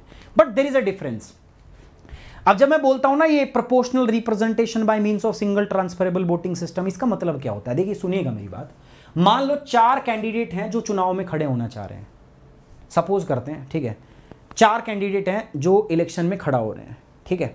डायरेक्ट इलेक्शन में क्या होता था? डायरेक्ट इलेक्शन में ऐसा होता था कि तुम्हें गए और ये इलेक्ट्रॉनिक वोटिंग मशीन है, इधर नाम होता है और सबके सामने ऐसे बटन होते हैं। भाई, तुम्हें सिंपल क्या करना है? बस उसका बटन दबा देना है, काम खत्म वोट चली गई आपकी। यहाँ नहीं होता। अब मान के चलो यहाँ पे तुम वोट डालने जाते हो, ठीक है? मान लो राम वोट डालने गया, ठीक है? तो राम को वोट क्या देख, उसको देखनी पड़ेगी, चार कैंडिडेट है। एक, दो, तीन और चार। चार कैंडिडेट हैं जो चुनाव लड़ रहे हैं किसका? राष्ट्रपति का। या किसी भी चीज़ का। अब उसको अपनी वोट कैसे डालनी पड़ेगी? राम को सिंपल अगर डायरेक्ट इलेक्शन होता डायरेक्ट इलेक्शन में वो क्या करता? अपने पसंदीदा कैंडिडेट उसको लगता है कि यार सी मेरा पसंदीदा है, ठीक है तो फटाक दे सी पे बटन दबा देता, मोर दबा देता सी बटन दबा के वो घर आ जाता। वाह भाई, वोट डाल दी। है ना? सब ऐसे करते हैं। बट यहाँ ऐसा नहीं होता। यहाँ पे क्या होता है दोस्तों? बिकॉज़ दिस इज़ इनडायरेक्ट ये इनडायरेक्ट है, पहली बात तो और दूसरी वो बड़ी सी बीमारी है। Proportional representation by means of single transferable voting system बड़ी सी बीमारी का नाम है ना? एकल समानुपाती संक्रमण मतलब तो इसमें क्या होता है? उसको भाई अपना प्रेफरेंस देना पड़ता है। वो पता क्या कहेगा? यार, मेरा पसंदीदा कैंडिडेट है एक। अगर ये ना बने तो मैं चाहता हूँ ये बने। ये ना बने तो मैं चाहता हूँ ये बने और ये ना बने तो मैं सबसे आखिरी में चाहता हूँ। यहाँ पे आप प्रेफरेंस दे रहे हो। राम आ गया। अब राम के बाद में मोहन चला गया। मोहन कह रहा है, भाई साहब, सुन, पहले नंबर का आदमी तो यही है, मैं इसी को चाहता हूँ बने। लेकिन मैं चाहता हूँ दूसरे नंबर पर ये बने, तीसरे नंबर पर ये बने और चार नंबर पर ये बने। तीसरा आया, ठीक है। राम, मोहन, उसके बाद सीता। ये क्या कहते हैं? ये कहते हैं, पहले नंबर का तो अनडाउटली यही है। दूसरे नंबर पर हम चाहते हैं ये बने, तीसरे पे ये बने और चौथे पे ये बने। उसके बाद सीता के बाद में गीता आ गई। गीता बोली, सुनो, एक नंबर पे तो ये है, दो नंबर पे ये है, तीन नंबर पे ये और ये ना बन पाए तो मैं फिर चाहूँगी सबसे लास्ट में ये बने। तो यहाँ पे आदमी क्या कर रहा है? अपनी प्रेफरेंस दे रहा है। गीता, सीता, उसके बाद में मान लो मैं ही चला गया। मैं भी कह रहा हूँ कि भाई मेरा भी यही है, पहले नंबर, दूसरे नंबर, तीसरा और चौथा। उसके बाद में मान के चलो कौन चला गया? महेश, साहू चला गया, हमारे उड़ीसा के छात्र हैं महेश। तो महेश बोले कि सर, एक नंबर इसको दूँगा, दो नंबर, तीन नंबर, चार नंबर। ठीक है? उसके बाद में मान के चलो आप में से कोई, ठीक है, गीता, सीता, पीता सब हो गया। ठीक है? अब पपीता मान लिया हमने। अब इसमें भी वो प्रेफरेंस देगा। अब जब वोट काउंट होगी ना वोटिंग काउंट होगी तो यहाँ पर काउंट किया जाएगा कि पहली प्रेफरेंस वाले कितने वोट मिले, कितनी दूसरी प्रेफरेंस वाले वोट मिले। जैसे ए की बात करें तो ए को पहली प्रेफरेंस के कितने वोट मिले? एक, दो, तीन, चार, पाँच। तो पहली के मिले पाँच ए को। दूसरी प्रेफरेंस के कितने वोट मिले हैं उसको? दो। ठीक है? ऐसे करके चीज़ें काउंटिंग होगी। और फिर इसका एक पूरा प्रोसेस है। ठीक है? पूरा प्रोसेस होता है। अब उस चक्कर में यार पूरा इतने में ही तुम्हारा दिमाग बनने आ गया होगा। इसके आगे मैं बताऊँगा तो मामला और भी गंभीर होता चला जाएगा। तो वो चीज़ समझना फिर जानलेवा है। तो इसीलिए उसको हम नहीं समझते, बस इतना याद रखो कि इस प्रकार के चुनाव में जो ये बीमारी टाइप का है, एकल समानुपाती संक्रमण, और इतना कंफ्यूजिंग है, इसीलिए तुम्हें वोट नहीं डलवाई जाती इसमें। तुम फिर कंफ्यूज है, तुम्हारा समझ में नहीं आती। तुम डालते, ठीक है, कुछ समझ में नहीं आता। तुम कहते हो मैं तो वोट डाल के आया था, उसको यार जीत कोई और गया। ये तो गलत किया सरकार ने ईवीएम मशीन हैक कर रखी है। होता ना? तो इसीलिए दोस्तों तो मैनर ऑफ़ इलेक्शन क्या होता है दोस्तों? यहाँ पे ध्यान रखना।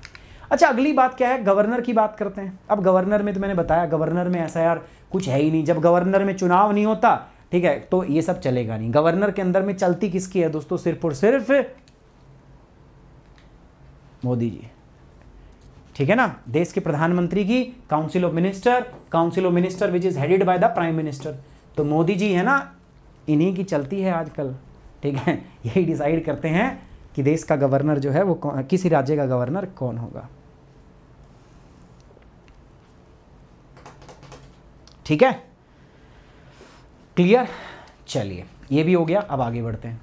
अब बात करते हैं दोस्तों क्वालिफिकेशन योग्यता। भाई, चुनाव में तुम्हें जाना है। तुम चुनाव चुनाव लड़ने वाले हो, तुम जा रहे हो चुनाव लड़ने। अब चुनाव जब लड़ोगे तो कुछ योग्यता होनी चाहिए ना। सभी हो जाएँगे, मुँह पाड़े खड़े, मैं भी चुनाव लड़ूँगा। मेरा भी मन है, मैं भी लड़ूँगा चुनाव, बताओ लड़ाओ मुझे चुनाव। तो ऐसे नहीं होता, कुछ क्वालिफिकेशंस होती हैं। संविधान में कुछ क्वालिफिकेशंस बताई गई है। और वो आर्टिकल अट्ठावन में लिखी गई हैं प्रेसिडेंट के अंदर। क्या कहा गया कि ही शुड बी ही और सी दोनों आते हैं ही और सी बट मैंने, क्योंकि ऑफ़िस जो है प्रेसिडेंट वो, इसीलिए मैंने ही लिख दिया है, ठीक है? तो ही और शी दोनों आएगा. He should be a citizen of India ज़ाहिर सी बात है, सामान्य बात है तो. भाई, अब युगांडा के आदमी को तो आप भारत का राष्ट्रपति बनाओगे नहीं. कोई युगांडा से आया हुआ है, भारत का राष्ट्रपति बना दो. He should be a citizen of India अब ये जो सिटीजनशिप है ना, इसके भी पचास तरीके होते हैं.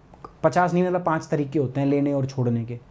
अब अब इसमें तुम वही बात करने लग जाओ तो वो मत करना। अभी इतना ही याद रखना कि he should be a citizen of India Bharat का नागरिक होगा, तभी वो ये कर सकता है। ज़ाहिर सी बात है, ठीक है, युगांडा, सूडान के आदमी को तो हम भारत का राष्ट्रपति बनाएँगे भी नहीं, है ना? दूसरी बात क्या है कि 35 साल कम से कम हो गए तो मतलब यहाँ युवाओं के लिए जॉब ऑफ़र नहीं है। ठीक है, आप और मैं, हम खुश हो रहे थे ना कि मैं भी चुनाव लड़ूँगा लड़वाओ हम खुश ही हो सकते हैं, कुछ से ज़्यादा नहीं कर सकते। क्यों? क्योंकि हमारी एज नहीं है उतनी, पैंतीस साल का भी हुए नहीं है। तो यहाँ पर भी सिर्फ़ भारत के जो वरिष्ठ वर्ग है, उसको नौकरी है। हम जैसे युवाओं का यहाँ पर भी ध्यान नहीं रखा गया है। ठीक है? तीसरी बात कह रहा है कि यार ये वो व्यक्ति होना चाहिए जो लोकसभा का चुनाव लड़ने के योग्य हो। मतलब अगर आप भारत के राष्ट्रपति बनना चाहते हो तो कम से कम आपके अंदर वो योग्यताएँ होनी चाहिए कि आप लोकसभा का चुनाव लड़ सको, लोकसभा का मेंबर बन सको। अब आप कहोगे सर लोकसभा के मेंबर की वो पीपल रिप्रेजेंटेशन एक्ट पढ़ना पड़ेगा 1951 पार्लियामेंट पढ़ाएँगे जब पढ़ाएँगे उसको भी ठीक है? कि आप कब और कैसे लोकसभा का चुनाव लड़ सकते हो वो बताएँगे। इसके बाद लास्ट है he should not hold an office of profit अब ऑफ़िस ऑफ़ प्रॉफिट भी, इस पर डिबेट होता है। अलग अलग परिभाषाएँ अलग अलग कन्फ्यूज़ हो करते हैं लोग। देखो मेरा काम कतई कन्फ्यूज़ करना नहीं है ठीक है? मैं तुम्हें ऑफ़िस ऑफ़ प्रॉफिट को साधारण भाषा में बताता हूँ। ऑल ये सही बात नहीं है जो मैं बोलूँगा ना it's not absolutely correct but ये थोड़ा आसान हो जाएगा। ऑफ़िस ऑफ़ प्रॉफिट का मतलब है सरकारी नौकरी। ऐसा किसी भी पद पे नहीं होना चाहिए जहाँ से पैसा मिलता हो सरकार मतलब सरकारी नौकरी टाइप का हो। अगर है तो पहले छोड़ना पड़ेगा उसको, तभी वो भारत का राष्ट्रपति बन सकता है। अगर किसी के पास ऑफ़िस ऑफ़ प्रॉफिट है और अगर वो राष्ट्रपति बन गया तो इन दैट केस वो डिस्कालीफाई हो जाएगा। ठीक है? ये है ही नहीं। ये should not hold any office of profit ठीक है? तो अभी के लिए इतना ही ध्यान रखना आप कि कोई भी सरकारी नौकरी ना हो यार, बस इतना याद रखना तुम। अगर वो मान लो मेंबर है, अब आप कहोगे, सर, अगर मान लो मेंबर है लोकसभा का, राज्यसभा का तो लोकसभा का मेंबर होना और राज्यसभा का मेंबर होना it's not office of profit वो ऑफ़िस ऑफ़ प्रॉफिट नहीं है। और फिर भी अगर वो सदस्य है तो उसको कहाँ से क्या करना पड़ेगा? छोड़ना पड़ेगा। लोकसभा, राज्यसभा का, उससे भी उसको त्यागपत्र देना पड़ता है।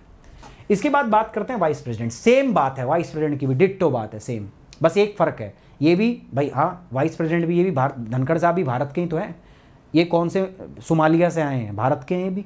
दूसरी बात ये जो है, इनमें भी पैंतीस हाँ पैंतीस साल पूरे किए हुए हैं ये भी। तो यहाँ पर भी युवाओं का जो है, उसके लिए कोई रोज़गार का अवसर नहीं है। ठीक है? हैश टैग युवा रोज़गार योजना, कुछ लानी चाहिए सरकार को। तीसरी बात क्या है दोस्तों? यहाँ पे कह रहा है कि लोकसभा के लिए क्वालिफाई होना चाहिए। ठीक है? चुनाव। यहाँ पे कह रहा है कि देखो, राज्यसभा का चुनाव लड़ने के योग्य हो। लड़ने के योग्य हो, ये कह रहा है। ये नहीं कह रहा कि चुनाव लड़ा होना चाहिए और जीतना चाहिए ये सिर्फ़ ये बोल रहा है कि भाई जो आदमी है, वो राज्यसभा का चुनाव कम से कम लड़ने योग्य हो राज्यसभा का मेंबर बनने के योग्य हो। और last but not least he should not hold any office of profit भाई, किसी भी प्रकार का लाभ का पद उसके पास भी नहीं चाहिए। अगेन सेम थिंग लाभ का पद फिर से आ गया तो आप क्या समझोगे सर? काइंड ऑफ़ सरकारी नौकरी दैट्स इट इतना याद रखना आप और कुछ नहीं। अब ये हो गया कि दोस्तों, किसका राष्ट्रपति, उपराष्ट्रपति का? अब गवर्नर पे आ जाते हैं। ठीक है? करें बात। चलिए, गवर्नर की बात। अच्छा इतना के बाद में भी देखो अब गवर्नर की बात हमने क्यों नहीं की? क्योंकि गवर्नर में इलेक्शन होता नहीं बट उसकी भी क्वालिफिकेशन होती है। बट इसके बाद में मैं चुनाव में एक चीज़ और होती है, मैं आपको बता दूँ। अब देखो, मेरा दादा है, मेरे दादा की एज है भाई, ठीक है, वो पैंतीस साल से बड़े भी हैं। या मेरे पापा ही हैं, पैंतीस साल से बड़े भी हैं। वो लोकसभा के सदस्य चुने जाने के भी योग्य हैं। कोई नौकरी भी नहीं है, सरकारी ऑफ़िस ऑफ़ प्रॉफिट भी नहीं है, ठीक है, और भारत के नागरिक भी हैं। तो क्या मेरे पापा जाके चुनाव का फार्म भर देंगे कि मैं मैं भी चुनाव लड़ूँगा? नहीं भर सकते। क्यों? इसके लिए भी एक प्रोसेस होता है सर आप चुनाव का जब नामांकन पत्र फ़ाइल करते हो तो आपके पास एक प्रॉपर सपोर्ट होना चाहिए। आप कह दो, मैं कह दूँ, मुँह के मैं बढ़ूँगा राष्ट्रपति, ले भाई लड़वाओ चुनाव। अब ऐसे तो देश में हज़ारों खड़े हो जाएँगे। कहीं तो मज़े मज़े लेने पहुँच जाएँगे ना, कि हाँ ये चारों, ये कंडीशन कोई बहुत बड़ी मुश्किल बात थोड़ी ना है। भारत के अंदर मैं कह रहा हूँ, नब्बे, पिचानवे परसेंट लोग ऐसे हैं, नब्बे परसेंट तो मान ही लो, या चलो अस्सी परसेंट मान लेते हैं, जिनके पास सारी ये योग्यताएँ हैं। मतलब रोज़गार नहीं है, सारी योग्यता लेके बैठे हैं कि वो क्या बन जाए, भारत के राष्ट्रपति बन जाए। बट क्या वो बन सकते हैं? नहीं। क्योंकि नॉमिनेशन जो होता है, जब आप फ़ाइल करते हो, अपना पेपर फ़ाइल करते हो, उसके लिए कुछ और कंडीशंस भी माँगता है। वो कंडीशन कौन सी माँगता है? नॉमिनेशन प्रोसेस नामांकन प्रक्रिया। इसमें क्या कहता है दोस्तों? इसमें कहता है कि सुनो भाई नॉमिनेशन प्रोसेस में ये चीज़ तो होनी होनी चाहिए जो आप देख रहे हो। बट इसके बाद आप खुद बोल लो जाके कि मैं राष्ट्रपति का चुनाव लड़ूँगा तो कोई नहीं सुनेगा तुम्हारी।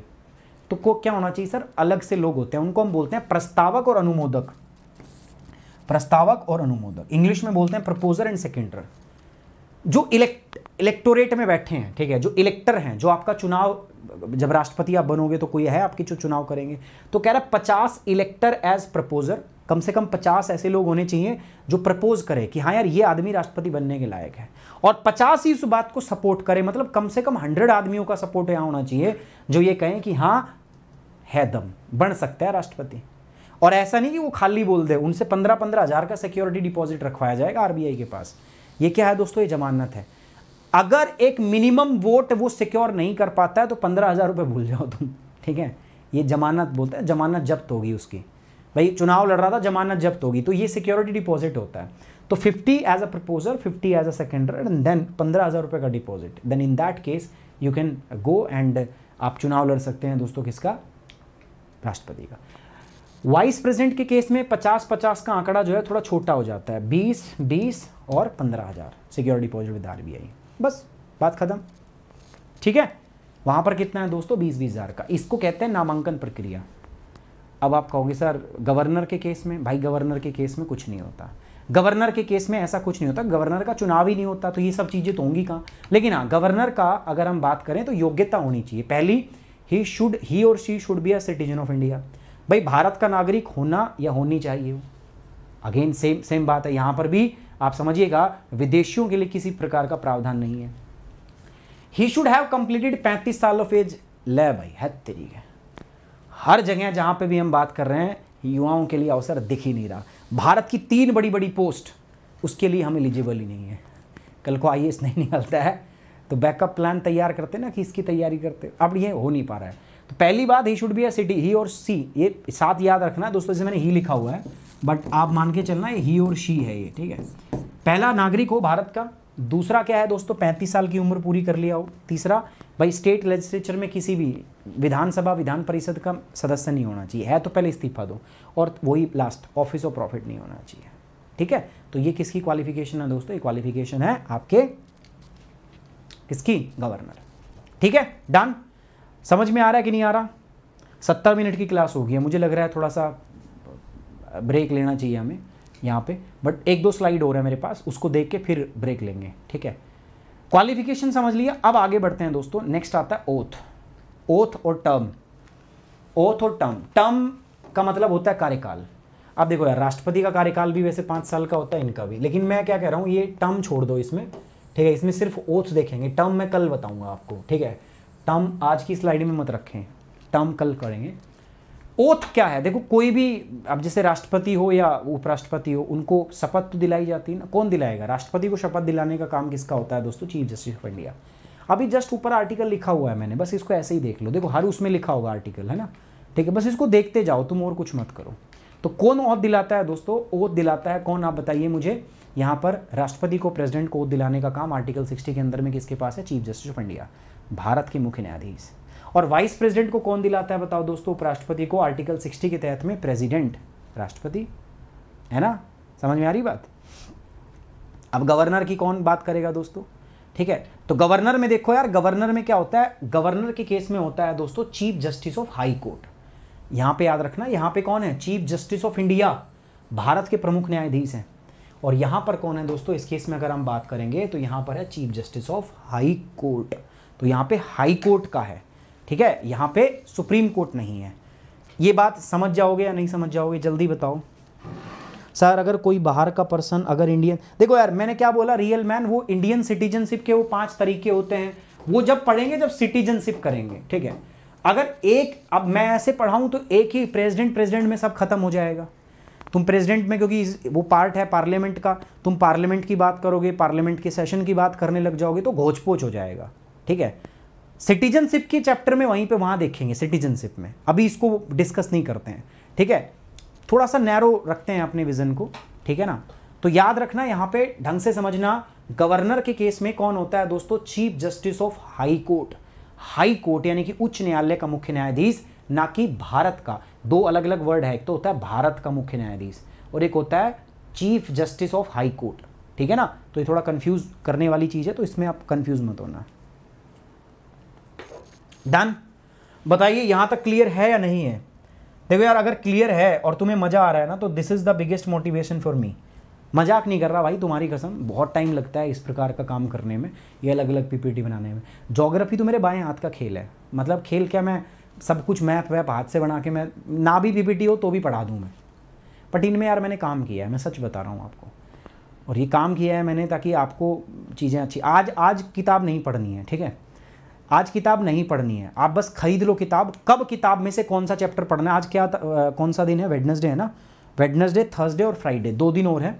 फ्राइडे के बाद सैटरडे में आपको टाइम दूँगा सैटरडे को आपको पूरा पढ़ना है तीनों चैप्टर पढ़ने हैं। तो अभी बिल्कुल मत पढ़ना। बस अभी आप ये ध्यान रखो, इतना जो मैं पढ़ा रहा हूँ, इसको ध्यान रखो दैट्स इट ठीक है? ओके